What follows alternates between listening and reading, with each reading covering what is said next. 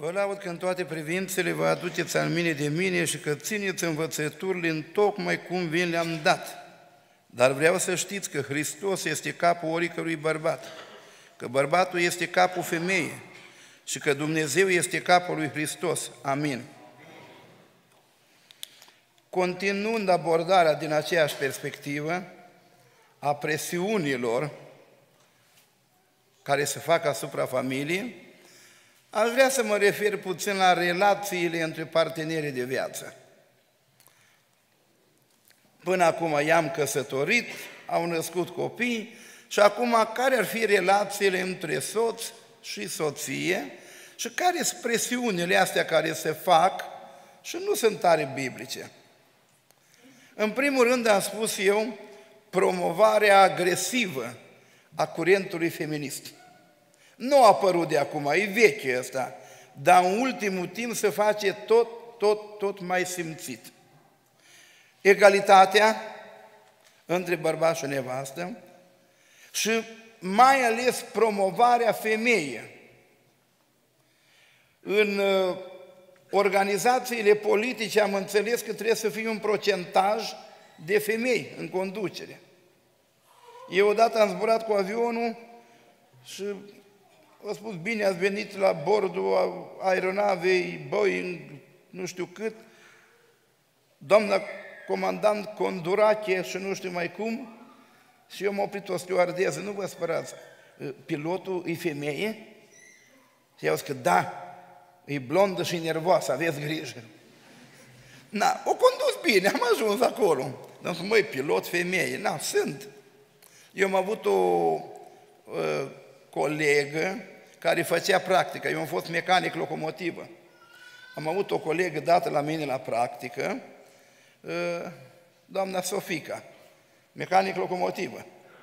Era un pic mai lat în spate ca mine, era tunsă scurt, fuma în continuu și am spus, măi, acum nu contează până la urmă înfățășarea fizică, că și eu sunt la destul în spate. Dar mă gândeam că nu-i meserii pentru femei, da? Îs promovate. Nu ați văzut că președinta Consiliului European, președinți de stat, femei, eu nu spun că nu sunt capabile, că sunt femei foarte capabile și poate mai cuminți ca noi și pe acasă câteodată. Eu recunosc eu asta. Dar promovarea asta excesivă în detrimentul bărbatului nu este bună. Noi trebuie să respectăm ordinea lui Dumnezeu în creație. Îi Dumnezeu îi Hristos, îi bărbatul, îi nevasta și copiii. Spun de surorile, amin? amin? Nu prea spun. Strigă costică mai tare, voi nu prea sunteți de acord. O femeie care a ocupat multe funcții politice și a avut grade mari, la un moment dat a spus, cea mai mare onoare pentru femeie să fie soție și mamă. După ce o gustat din toate astea. O spus la urmă, cea mai mare onoare ce îi se poate face unei femei îi să fie soție și mamă. Acum că au servicii bune, că sunt foarte inteligente, dar dacă în familie nu își păstrează locul unde l-a așezat Dumnezeu,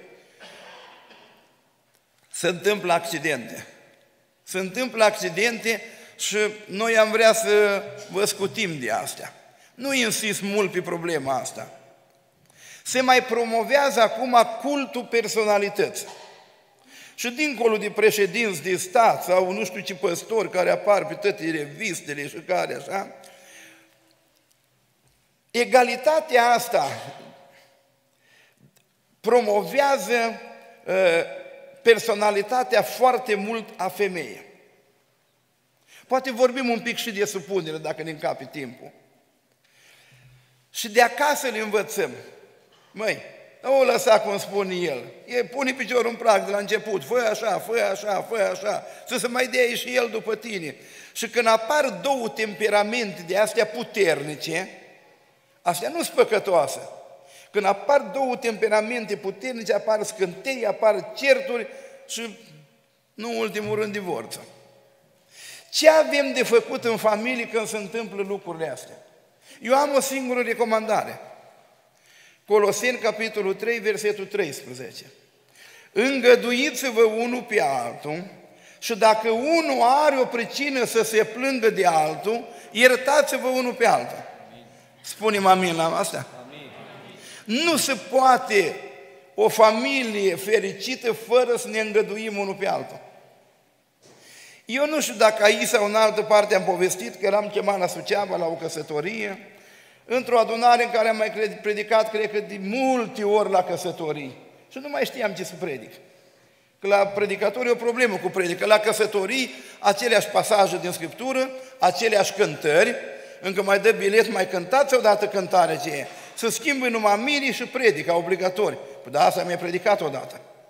Și stam așa, veneam venind de la serviciu, mă gândeam, Doamne Iisus, ce să predic? Nu mi-a venit nicio idee, nicio. Am luat și m-am culcat. Și seara am visat că eram în adunare aceea și au venit fratele păstor care și neam cu mine, spune, frate Dragoș, azi o să fiți doi la predică. Îi fratele și tu. Ai un text și eu spun, dacă predică el, să dea el textul primul.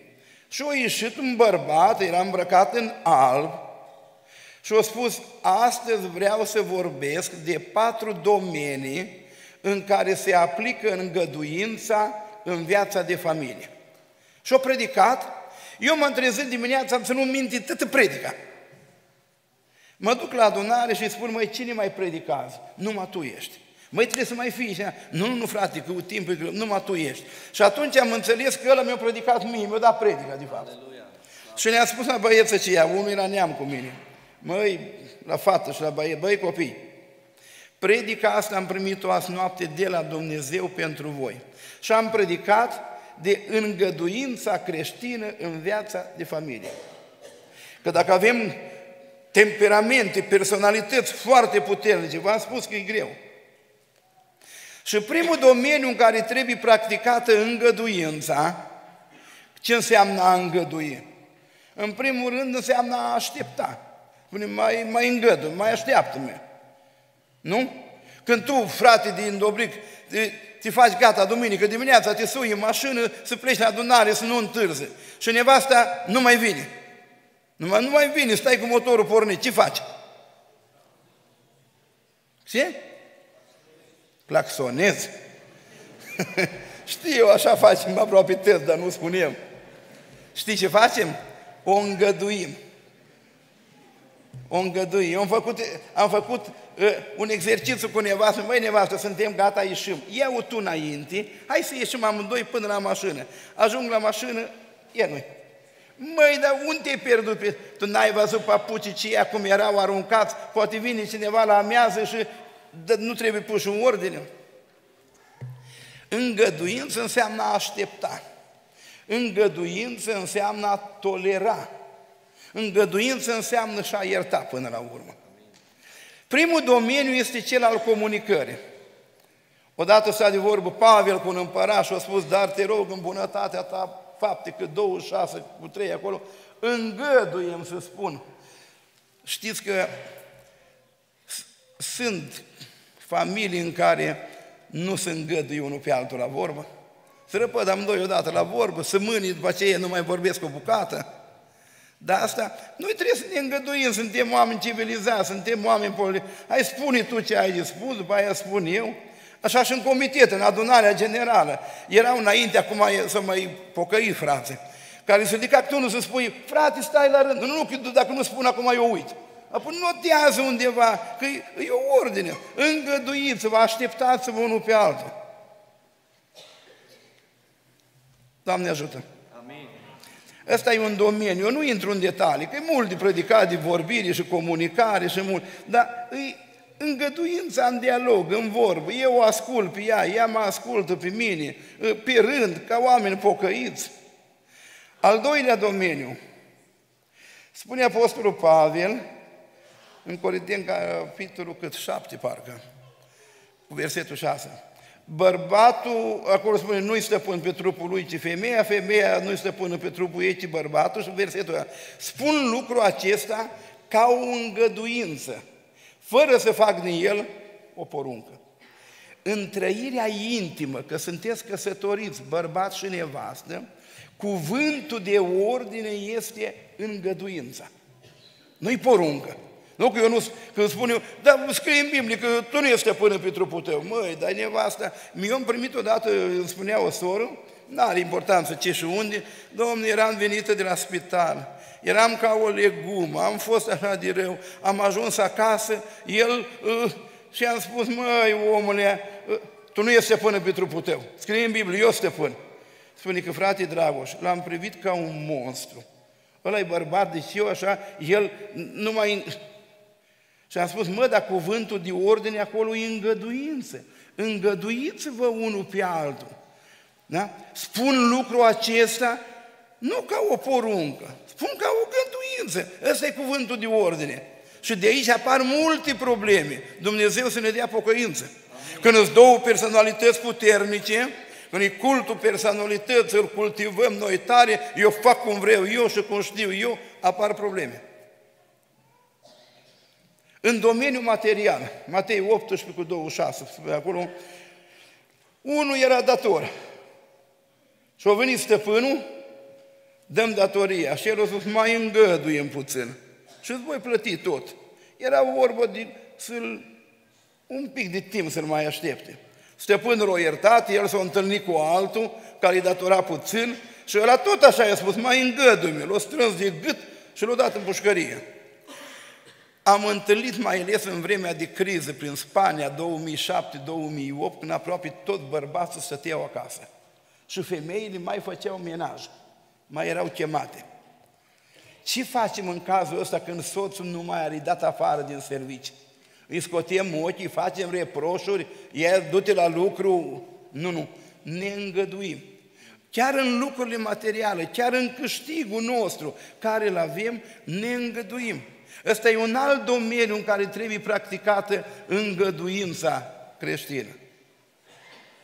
Și al patrulea domeniu, scrie în Eclesiastul 7 cu 13. Uitați-vă cu băgare de seamă, cine poate să îndrepte ce a făcut el strâmb? Am numit eu asta tolerarea deficiențelor, îngăduință. Și nu vorbesc de deficiențe fizice, că nu se pot îndrepta, dar câteodată și anumite deprinderi, anum, un, uh, anumit caracter, anumite obiceiuri. Eu sunt surat de mult și nevasta îmi spune, Măi, omule, multe am corectat la tine, dar de vreo două nu te pot corecta. Eu odată predicam într-o adunare, de aici, din subiectul ăsta, și a spus, uh, fraților, eu i-am spus la nevasta mea, măi, nevastă, te-ai cizela mult, te-ai educat mult, te-ai corectat mult, dar i-am spus, frate, eu cred că are niște obiceiuri, cred că cu el așa, așa s-o îngrop. Dar o soră din adunare strigătare, poate te-a îngropat e pe tine. și mi-a luat darul. Eu am dat ca exemplu, doar n-am spus de nimic, de asta mea am spus. Cred că cu năravurile astea am să o îngrop. Dar o soră, poate te-a îngropat e pe tine. Acum, avem diferite deficiențe. Lucruri pe care oricât am vrea, poate moșteniri genetice. Ce facem în cazul ăsta? În cazul ăsta ne trebuie îngăduință creștină. Îngăduiți-vă unul pe altul. Când îți două personalități puternice, și el și ea, am cultivat, uh, știu eu, cultul ăsta personalității. Îi spune mama, tu nu te lăsa, tu pune piciorul în prag, fă așa, lasă de el după tine și învățături de astea care nu-s bune, nu învață mama să fie supusă, să fie așa și ei intru cu bagajul ăsta de cunoștință, ce facem? Practicați îngăduința. După ce am gătit de predicat, am mâncat bine la masă, la vreo două săptămâni, au venit mirli cu mireasa la mine, eu eram cu nevastă, facem treabă și am spus, dar e singur? Nu, e și... Deci spuneți coboare. Nu vreți coboare. Ai măi, ce cu voi? M-am dus eu, om bătrân, ai mă, te rog, coboară, ai până în casă, ai, bem un ceai, stăm de vorbă. Ei erau certați. Erau certați, nu vorbeau, și totuși au venit până la mine. Eu i-am împăcat, i-am pus la masă, mă, i-am împăcat, că el a ieșit pe ușă, o strâns după cap și-o pupat și eu am spus, băi, am reușit. Când s-au certat a doua oară, s-au dus și-au divorțat, nu mai trecut pe la mine. Și-au divorțat și-au divorțat. De ce? Că din predica mea despre îngăduință mica nu o înțelese. Pentru că în viața de familie trebuie practicată îngăduința creștină. Dumnezeu să ne ajute. Dacă unul are o pricină să se plângă, iertați-vă, mai cum vă ierta și Dumnezeu în Isus Hristos. Pricine o să fie. Mă duc odată într-o familie, erau căsătoriți de 8 luni și el o tras ei o palmă. Și eu mă duc, dar el îi sare cu gura, frate dragul, tu crezi că degeaba i-am tras-o?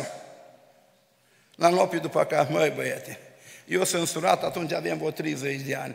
De vreo 30, tu crezi că în 30 de ani nevasta mea nu a meritat bătutul niciodată? Dar n-am bătut-o niciodată. Cum de tu în 8 luni deja ai început să o bați? Că e greu până îi dai prima palmă, după aceea a doua și a treia, dar noi suntem pocăiți, suntem plini de Duhul Sfânt, suntem familii creștine, eu recomand tuturor, așa la perso- orice personalitate ai avea, cât de tare și caracter, și oricât școală ai avea, în viața de familie, practicați îngăduința creștină. Ca am spus eu, se promovează în mod agresiv curentul ăsta feminist, se, se promovează cultul personalității, că tu nu ești mai slabă ca el, că tu ai drepturi egale, fără îngăduință. Și apar probleme. Și un alt gând care l-aș avea, că trebuie să-și încheiem, ă, nerespectarea condițiilor impuse de Scriptură. Că acolo sunt două condiții mari și late. Bărbatul să-și iubească nevasta și nevasta să fie supusă bărbatului ei. Spunem amin acum? Amin. Să ne ajute Domnul. Amin. Și când vorbim de iubirea asta, Că îi întreabă și la primărie și vă întreabă și aici în fața învonului, din dragoste, da, din dragoste. Când vorbim de iubirea asta, spune în uh, Ioan capitolul 13 că Domnul Iisus în noaptea în care a fost vândut, bine luat, care știa că de la Dumnezeu vine și că la Dumnezeu se duce, i-a iubit pe ai săi și i-a iubit până la capăt. Eu aveam odată o predică, am intitulat-o uh, dușmanii începutului. Începutul întotdeauna e frumos, întotdeauna e cu flori, cu felicitări, cu mesă, cu uh, visă. Unde sunt începuturile cele? Unde e bărbatul ăla galant? Unde politeța? Unde sunt frazele cele frumoase? După ani și ani, cine ne fură începuturile alea? Poate rutina? Ne-am obișnuit unul cu altul, și obiceiurile, și acele bune și acele rele, și obiceiurile bune și rele, poartă cu ele pericolul lipsei de respect. Nu ne mai respectăm, suntem prea obișnuiți și rutina asta ne fură începuturile și alte lucruri, dar nu de aici vreau să vorbesc. Când vorbim de dragoste, bărbatul să-și iubească nevasta, să o iubească până la capăt. Amin. Că se pierde dragostea pe la jumătate drumul. Și la urmă trăim așa, numai din politeță, din obligație, dar dragostea aceea, bisericii din Efesie se reproșa ce am împotriva ta, ți-ai pierdut dragostea din tâi. Să ne dea Domnul să ții dragostea aceea și la femei. Că spune în Tit capitolul 2 ca să învețe pe femeile mai tine să-și iubească bărbații și copiii. Dragostea reciprocă în familie. Și tot la dragoste spune eu 1 Ioan, capitolul cât 4, versul 18, parcă. Copilașilor, să nu iubiți cu limba și cu vorba, ci cu fapta și cu adevărul. Deci nu numai la nivel declarativ, că sunt maestre în declarații de dragoste, dar dragostea se demonstrează cu fapta și cu adevărul. Cum se demonstrează dragostea asta? Care e unitatea de măsură a dragostei? În primul rând e părtășia. Cântarea cântărilor 3 cu 2, 3 cu 4, că am căutat pe iubitul meu, nu l-am găsit. În versetul 4 l-am găsit și l-am dus în odaia în care m-a zămislit mama mea să fim împreună. O persoană pe care o iubești, vrei să stai de vorbă cu ea. Eu vă întreb aici, aveți părinți? Sunteți părinți? Aveți copii plecați în străinătate? Ce a spus când după ziua anunță? S-o măritat, nu mai știu de asta. Nu mai vreau să aud ea. Așa a spus? O plecat în nu știu unde, în Paris o plecat. Tot ziua telefon, ce face nepoțelul, de ce? Că ți dragi. Exprimarea, o unitate de măsură, dragoste, îi părtășia. Noi spunem, Doamne, te iubesc din inimă, Psalmul 108, da? Dumnezeul meu. Dar în părtășie cu Dumnezeu stau două minute. Îmi spune nevasta, măi omule, mai stai de vorbă cu Acum eu n-am timp, las că mă duc și mă duc să stau cu vecinul o jumătate de oră. Stau cu fratele și vorbesc o oră. Vorbesc totul, numai cu nevasta n-am timp. Câtă dragoste e acolo? Și Ioan spune, nu iubi numai cu, cu vorba, iubește cu fapta. Dumnezeu să ne ajute. Dragostea cu fapta se exprimă prin slujire fără pretenție. Eu nu slujesc nici adunării, eu iubesc adunarea, n-am pretenții de la adunare. Vă slujesc, aveți grijă. Pentru că iubesc nevasta, pentru că iubesc bărbatul, eu îl slujesc, îl ajut, sunt lângă el, fără nicio pretenție. O fac din dragoste. Și multe, multe alte exprimări ale dragostei.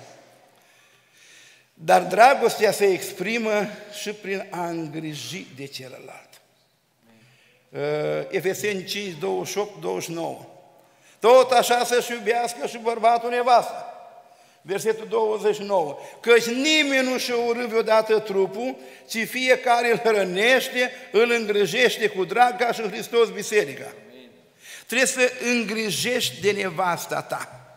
Asta e exprimarea dragoste. Numai că îi spui la telefon, ă, pui, eu te iubesc. Și atâta. Trebuie să îngrijești de ea. Care sunt principiile îngrijirii? Spune acolo, îl îngrijește cu drag. Mă, dacă îți iubești nevasta, dacă îți iubești bărbatul, îngrijirea asta îi reciprocă, o faci cu drag, măi, că ți drag. Eu le spuneam la fete, frate drag, am avut o lucrare că trebuie să mă mărit cu nu știu care. Măi, îți place un pic? Nu, nici nu poți să-l sufăr lângă mine. Măi, păi stai așa un pic.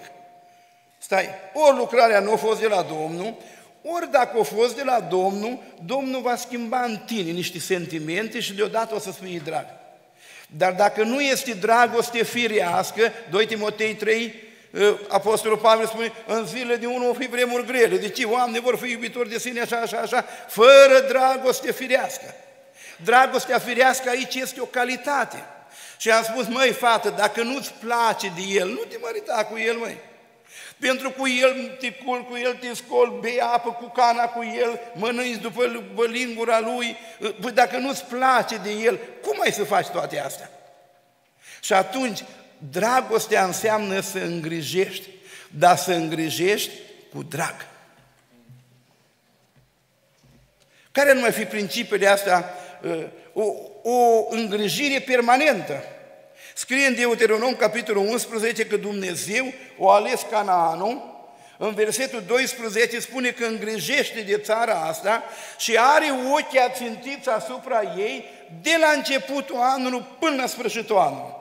Deci Dumnezeu așa stă, cum, așa se uită la Israel, din prima lună până în ultima lună. De ce?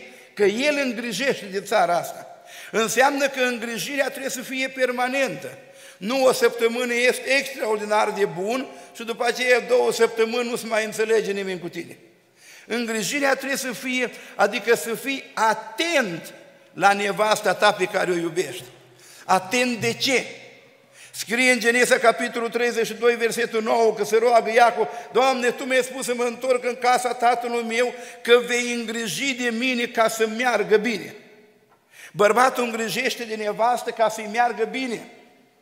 Nevasta îngrijește de bărbat din aceeași dragoste ca să-i meargă bine la bărbat. Asta înseamnă a îngriji. Îngrijim cu drag, îngrijim permanent. Spune Împărat capitolul 4, versetul 27, că slujitorii lui Solomon îngrijeau să nu ducă împăratul de nicio lipsă. Tu îngrijești de nevastă ca să nu ducă lipsă. Vezi că unele au lipsă de odihnă, vezi că are cearcă de la ochi, vezi că nu poate dormi, vezi că bărbatul tău are lipsă de sănătate, lipsește ceva. Și nu-i bun să lipsească. În Luca, în capitolul 15, o femeie avea 10 bănuți și o pierdut unul. Și a spus, da, dacă bănuții ăștia sunt niște uh, haruri pe care ți le-a dat Dumnezeu. Când lipsește unul, ce faci? Am întâlnit familii în care lipsește încrederea unul celălalt și spune, frate, apoi eu, bărbatul, nu pot să mai am încredere. Unde ai pierdut leu oceala?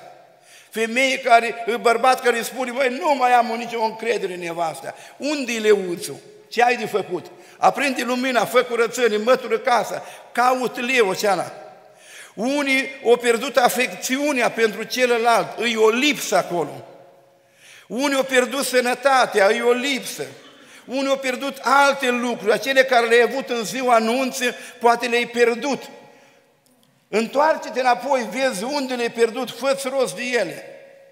Și bărbatul îi atent asupra nevestei, îngrijește, are tot timpul ochii ațântiți asupra ei, nu se facă reproșuri. Să uite la dânsa să-i meargă bine și să nu-i lipsească nimic. Acum, surori, spuneți amin? Nu sunteți de acord nici cu asta. Sunteți, Domnul vă binecuvintează. Ce înseamnă a îngriji? Care sunt principiile? A îngriji cu drag, a îngriji permanent, a fi atent la priorități. Proverbii 24, 27. Lucră întâi ogorul, după aia zidește casa. În familie sunt priorități diferite, sunt lucruri care apar urgent, trebuie făcute.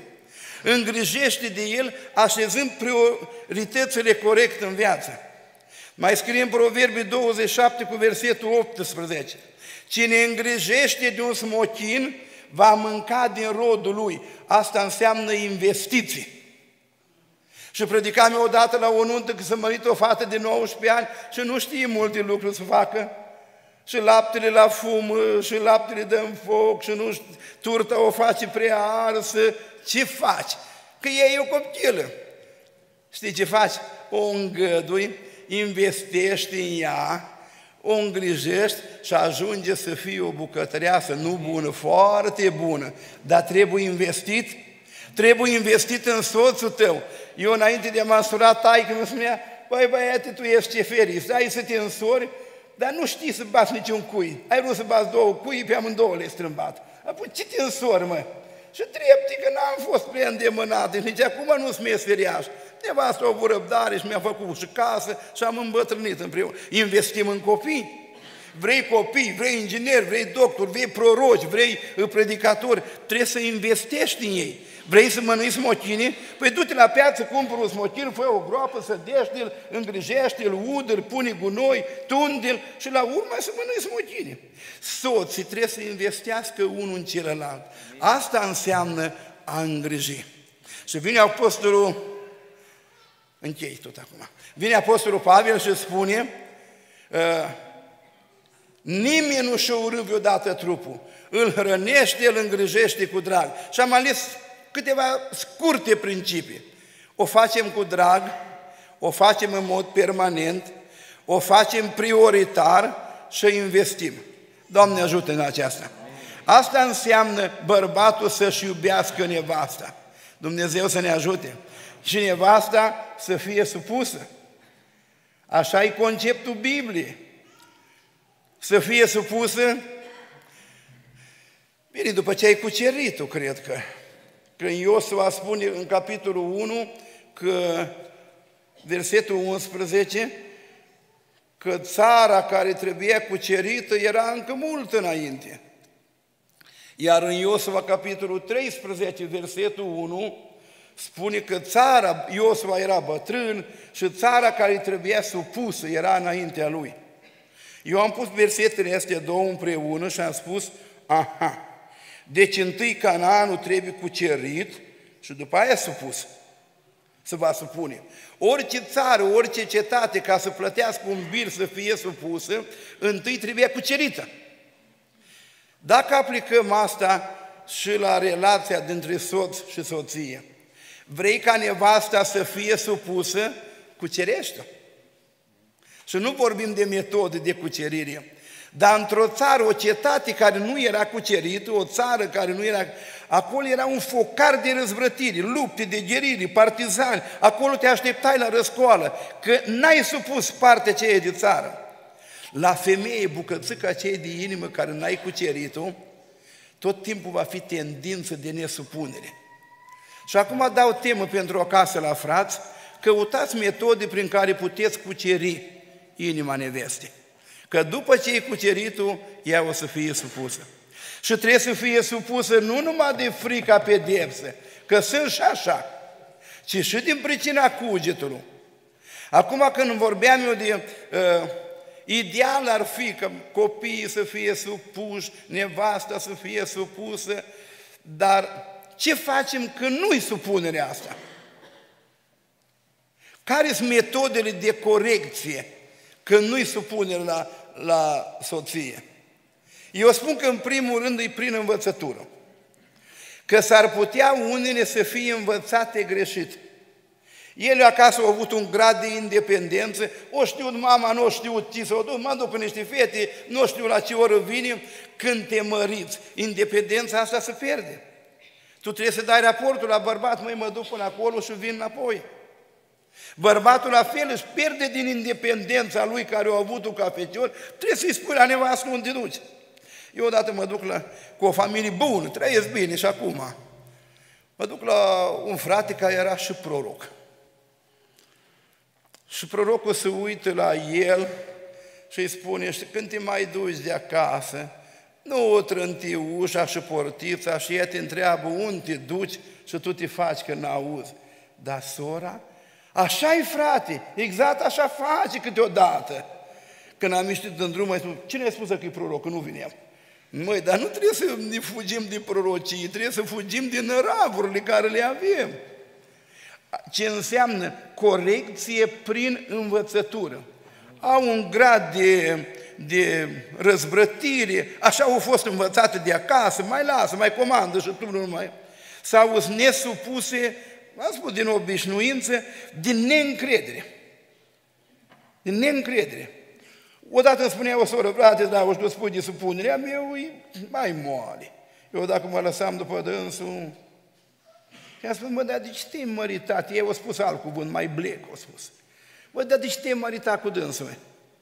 O fată când se mărită trebuie să vadă în partenerul de viață ceva superior, el e capul.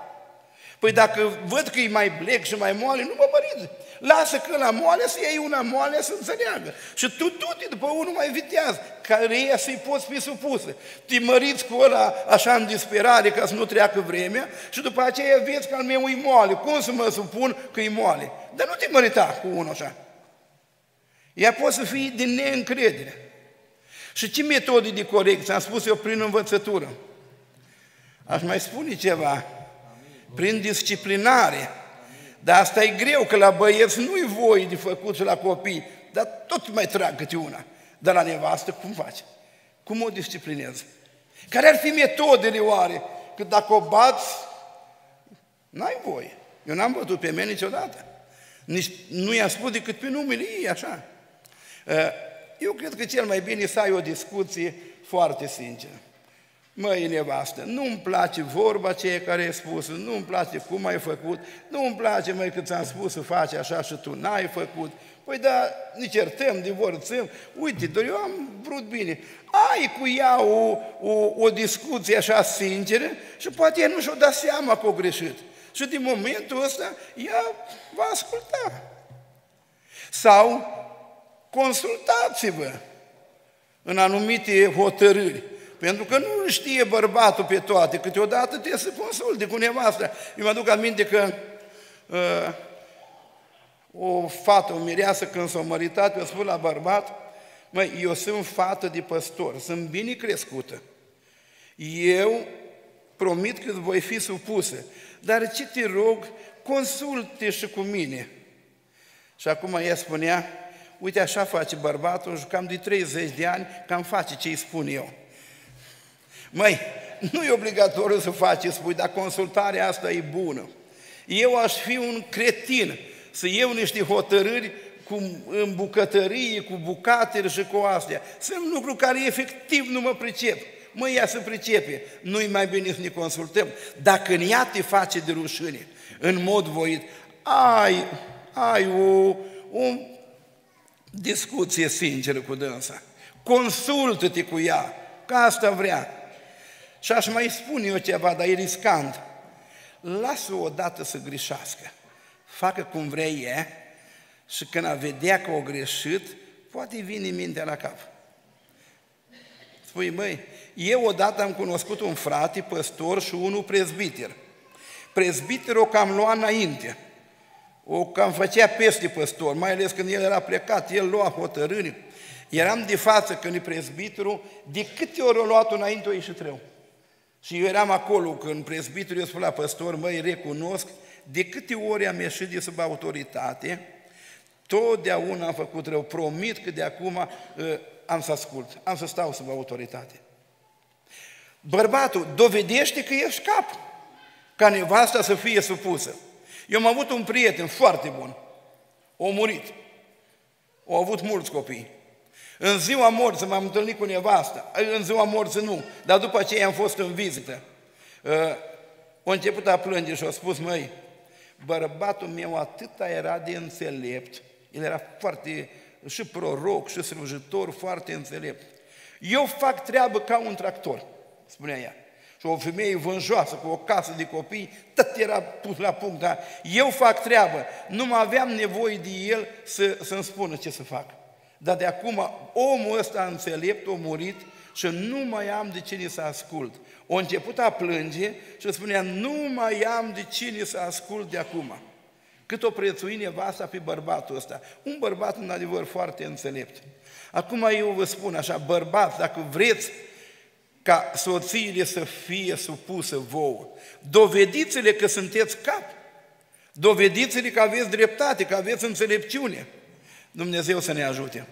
Dar cred că cea mai bună metodă de a aplica supunerea, spune Romani 5.21 parcă, supuneți-vă unii altora în frica lui Hristos. Eu cred că pocăința și umplerea cu Duhul Sfânt rezolvă toate treburile de supunere. Atunci când și bărbatul și nevasta sunt oameni plini de Duhul Sfânt, acolo nu o să fie probleme.